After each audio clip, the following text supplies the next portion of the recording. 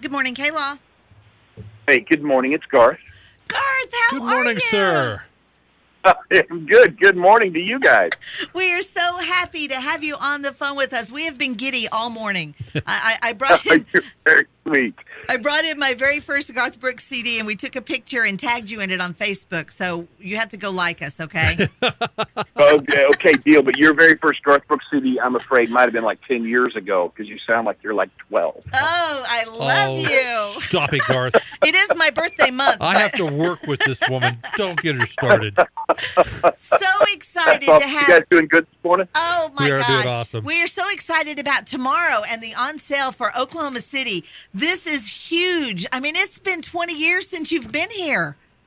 Yeah, but we're we're very excited, and of course, just the chance to get to come home. That's the Well, that's that's the main thing right there. I was going to ask you, hey, you know, what's it going to feel like to be be playing at home for the first time in in twenty something years? I, I'm going to tell you, man, you you can play all around the world, and they can give you every award that the, the industry can come up with, and you're you feel humbled and you're flattered and you're appreciative. With that said, it's still who you want to mean the most to are the people where you're from, man. Right. And so, Yeah. You know, this is the one that you're probably the most nervous for. This is the one that you're most anxious for because these are the people you grew up with. So you just want them to walk out there going, "Hey, I'm proud that he's from here, and I'm proud that he's one of us." Yeah. That's if they do that, then however the night goes, it's going to be fine with me. Well, you know what they say. There's no place like home, brother. Yeah. yeah, it's uh, I got to tell you, uh, you know, you do this business long enough. Nervous might not come into it. You still get the butterflies and stuff. The nerves don't come into it. But let me tell you, in Oklahoma City, this is going to be all nerves. It's, it's, Oh, it's, no you just kidding. Wanna, you just want to do so good for the people you grew up with. Well, it, Speaking of playing everywhere, you know, you have played to over 5 million people already, and the tour is not even finished yet. How do you even wrap your head around that number of people that have seen the show already? I, I, I don't know. It's crazy because you know in country music they call the '90s the heyday of country music. Uh, it took a hundred cities to sell five million tickets on that tour, and that was that was the biggest tour in the world at the time. And to think that this one's at five million at 60 cities is just crazy. I can't believe that people are showing up in the numbers that they are, showing up with the attitude that they're showing up with. It's just stupid fun, and I get to be right at the steering wheel of it, man. Well- it's so much fun. and you just got to look like it, like you know, coming out, coming out, coming out of retirement, just like any other guy. You know, you and the wife in the Winnebago traveling the country. you know, Upscale Winnebagos, yeah, yeah, I'm, I'm sure. I'm sure it's a higher, higher quality Winnebago. You know, you probably got a spare tire and everything. Yeah, but it's I tell you, they spoil you to death. First of all, but you get to travel around with the love of your life, your best friend, and then look around. It's all the same guys you played music with when you started, and the songs have actually made the leap of time. And to look out, and you're seeing the generation you hoped you'd see again, and then the other half of the arena is this whole new generation, and everyone knows the words, and it's just it makes for a it makes for a just wonderful night that you go out and you go, I'm never leaving, I'm never leaving, and it feels like five minutes and you've been out there, you know, two or three hours. Well, you know, I got to see the Yankee Stadium show, and like you're saying, the audience, you can tell the people that have been there for the whole ride, and then there are the ones there that I don't think that they were even alive yet when you went on your hiatus. I mean, it, it literally it was it was a, a almost an even split of that audience.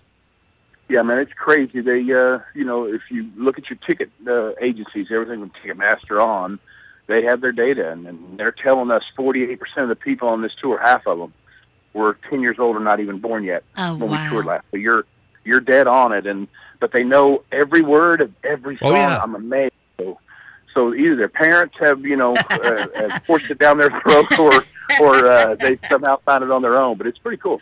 Well, I, I know my neighbor was yelling at, at me through the walls when I was watching the Yankee Stadium concert. Quit, quit singing, because I was singing along with every song too. Uh, my very first Garth Brooks experience was uh, you opened for Reba McEntire in Wichita Falls, Texas. I don't, I mean, that was a long, long time ago. You were playing at some of the little dive bars around this area at that time. Yep. And it had to be a big deal to open for Reba. And now the size, both of y'all shows, I mean, are just humongous. Well, I got to tell you, there's nobody in the world better than Reba McEntire. I'm going to put her on the level of Loretta Lynn, um, uh, Emmylou Harris. No one outworks the girl. Miss Yearwood and her are best buddies. We get to play cards together, and I'm telling you, this woman is everything you want her to be. uh, when she's not on stage, and then when she is on stage, there's nobody that can outdo her, man. She's she's fantastic. So I love sharing uh, the same home state with her. So proud uh, to call her my friend, and she's a doll. She treated me like a superstar then. She treats you like a superstar now, and at the same time, she just treats you like you're a brother of hers or something that she was raised with. And why do I why do I get the feeling you don't want to get involved in a heavy game of cards with that lady?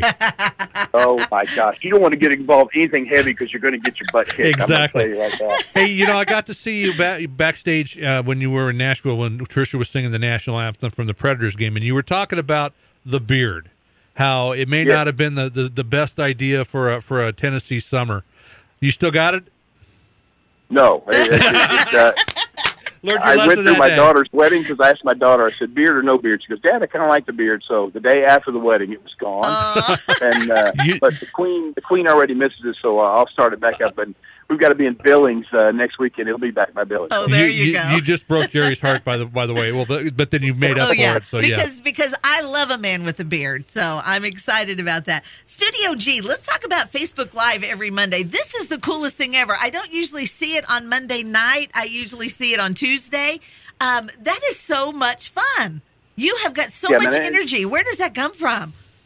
I love the fact that that you can view this anytime you want, and it stays there. So over the week, we'll run somewhere between a million, million and a half, two million views on these things, and uh, it's just fun. It's a conversation, which I like, and it's not just you know when social media started, it was just spewing, spewing, spewing from the artist point, and no feedback. And uh, we went to Facebook and said, "Hey man, have you got anything where we can talk to people?" And they go, "Well, we have this thing called Facebook Live that we're looking for an artist to launch, and we were lucky enough to be that audi- uh, that artist." So now, about a year later, it's uh, it's been a lot of fun. Their technology is catching up now. Hopefully, you'll start seeing soon where you can actually see the person that's asking the question, and you can have a conversation there on Facebook. as Well, you know, we're the ones that have been lucky that you have been on there because uh, you know you got a lot of insight behind the scenes of the tour.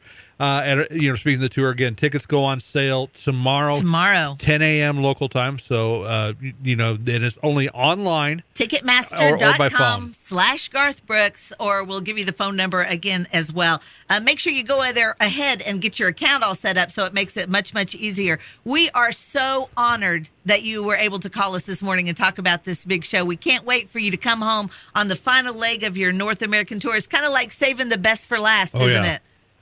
Oh, that this is this has been sweet. We you know we always said that Oklahoma City, since we got to play Toby's thing for the uh, Yes, for tornado the tornado. benefit. Right. Yes. Remember that? Yep. Yeah. So we always said that it would be toward the end of the tour. So now it's it's finally here, and I got to tell you, it's uh, like I said, nerves don't even begin to describe it, but the excitement. We're we're so excited. Can't wait to see you guys and hug your neck. I love you guys, and, and thank you for everything. Have the best morning. Love Thank you, you, you so too, brother. much, Garth.